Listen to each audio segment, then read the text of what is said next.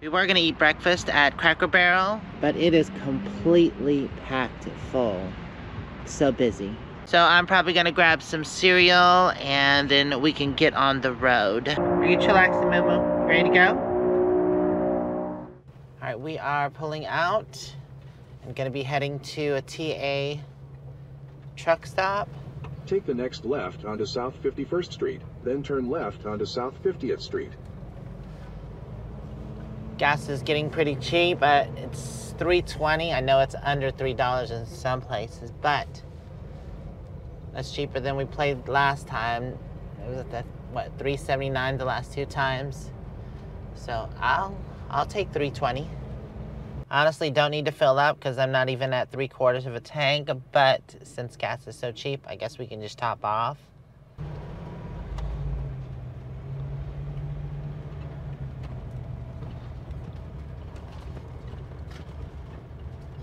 In 800 feet, turn right onto the I-10 East ramp to Tucson. Oh, we're finally getting on I-10. And heading east. Yay! Turn right onto the I-10 East ramp.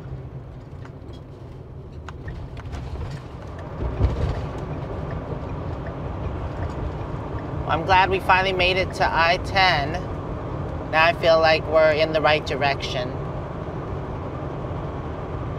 Only, I think, 1,100 miles. Hold on. How far am I from San Antonio, Texas? It's 965 miles to get to San Antonio by car. Yeah, so about a thousand miles. We're about 90 miles from Tucson and about 30 miles from the intersection of Interstate 8. We've got about 32 more miles till the gas station. There's not a lot out here. The blind spot mirror is working good. In my blind spot. Ah, I can still see him in the small mirror. awesome. We're passing over the Gila River. I don't see much of a river. No water at all.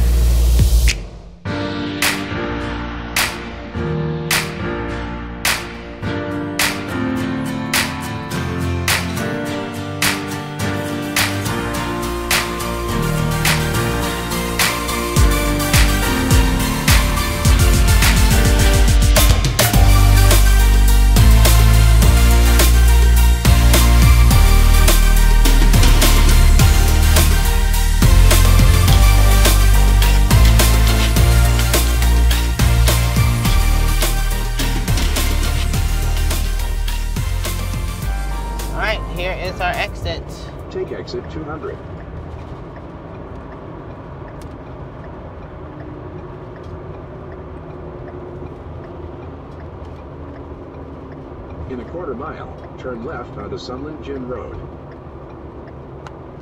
Okay, where is it? I guess it's to the left. And across the freeway.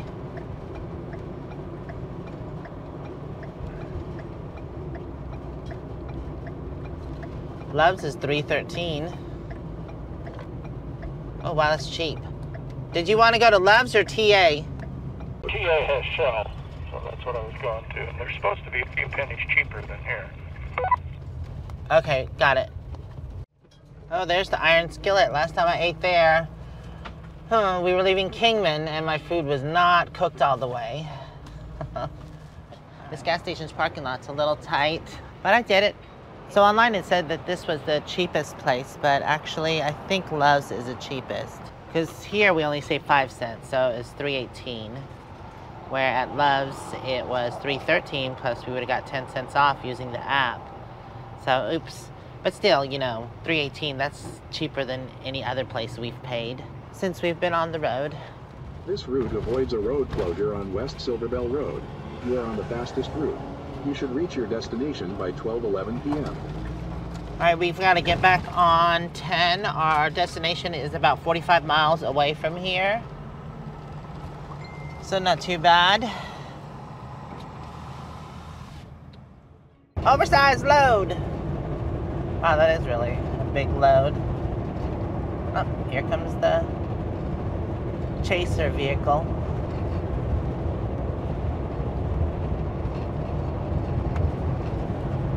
Our exit is about eight miles away, so not that much further. Moo-moo, of course, is in her normal position, sleep. All right, we've made it to our exit, 232.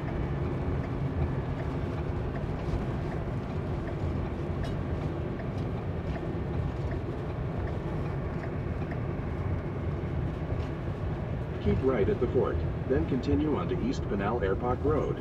Pinal Airpark Road.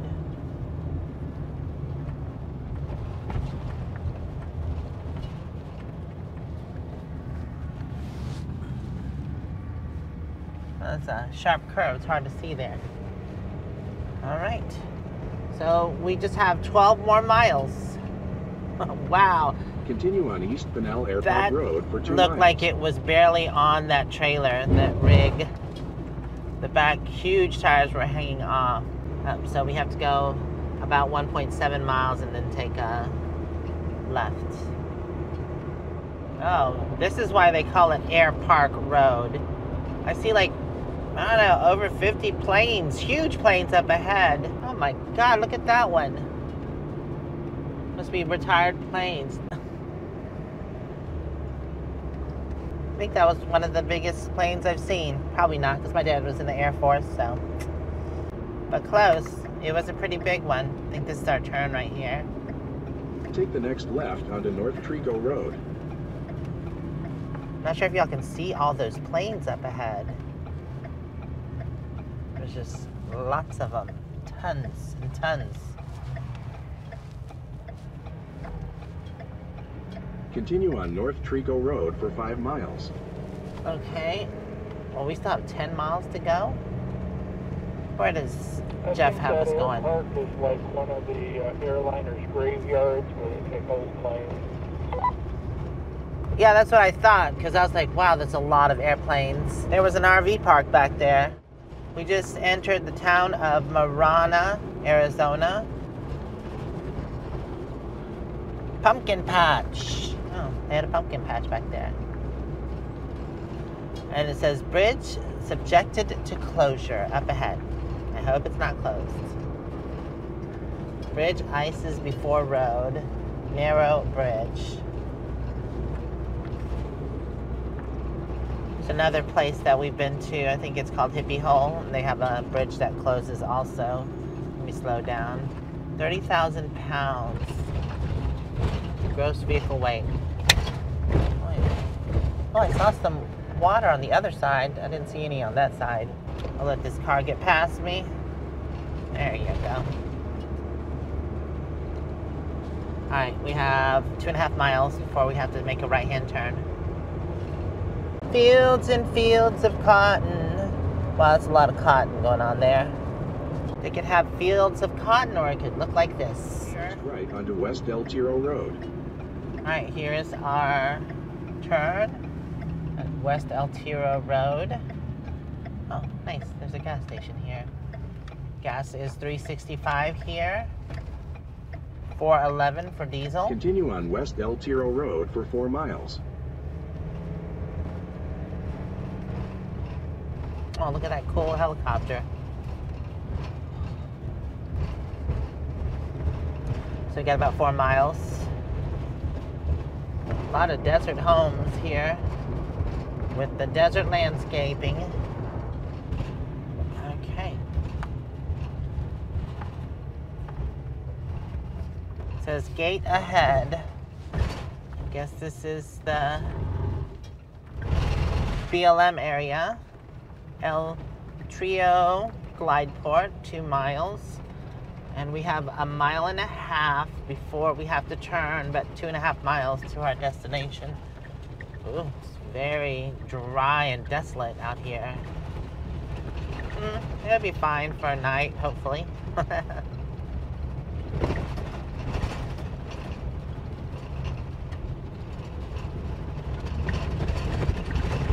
Ooh, Ugh.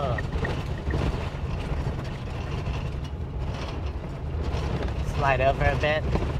Not so bumpy. What you think, Moo Moo? It's like you got a vibrating bed. People have to pay quarters for that usually. You get yours free. Oops.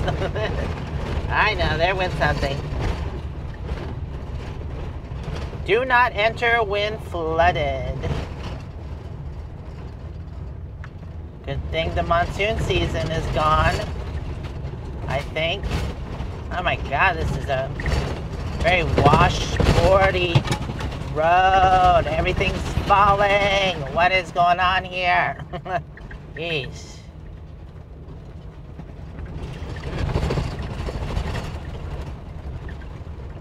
Oh, I'm gonna hug the road here. It's not as washboard. Alright, we're entering monument land. Sign said help keep it clean. No littering. Shouldn't do that anyways. We have camping right over here to the right, like I said, so just have to find the drive in. Let me slow down a bit. We have made it. Just have to find a spot. I think I'm just gonna pull off for now. Okay, welcome to Ironwood National Forest. Yeah, when was there a forest? Like a million years ago? I don't see no signs of any kind of forest, unless they mean a cactus forest. I'm not lying, this totally reminds me of Quartzsite.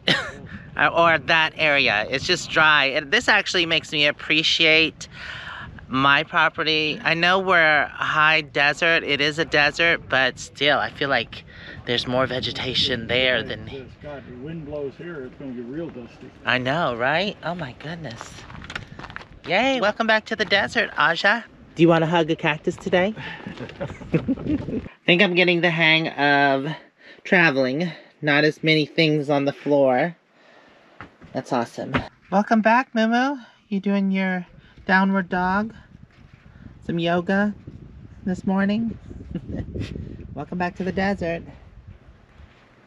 I am just joking around. I do like the desert and the wide open space that it provides. And a lot of camping here. There's so much camping compared to the East Coast. That's free. We are east of Picacho Peak, which is right there. We passed it coming this way. And Ironwood is over there in the mountains in the distance.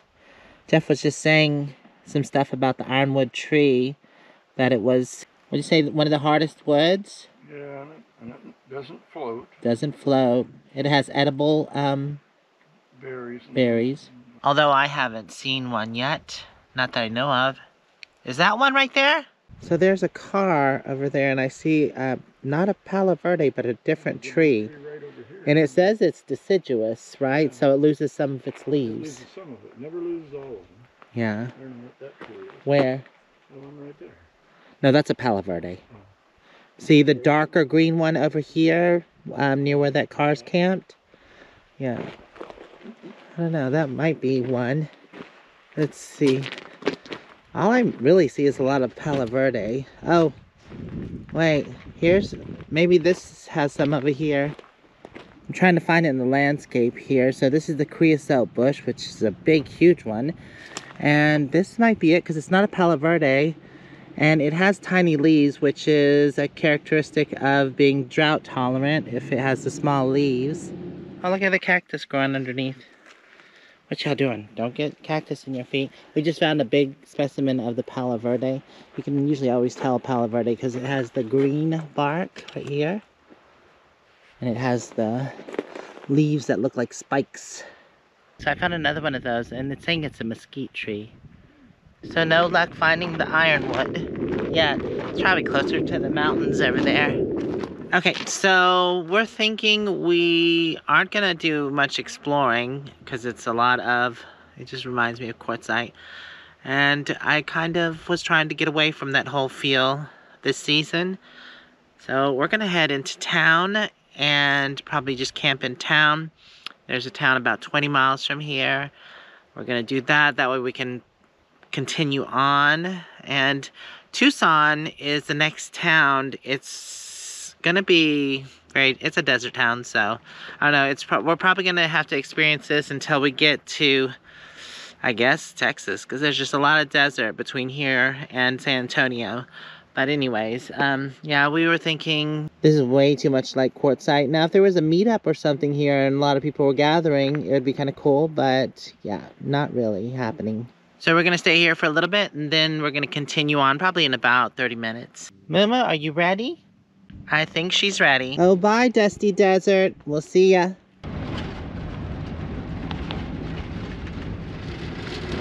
Yeah, this is not what I was looking for. Thank God, off this bumpy road.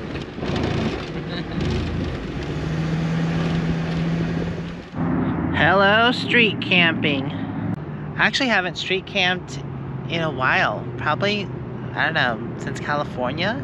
I did a lot of street camping. Well, and also when I went up to Maine, there was some street camping going on. Welcome to Tucson, Arizona.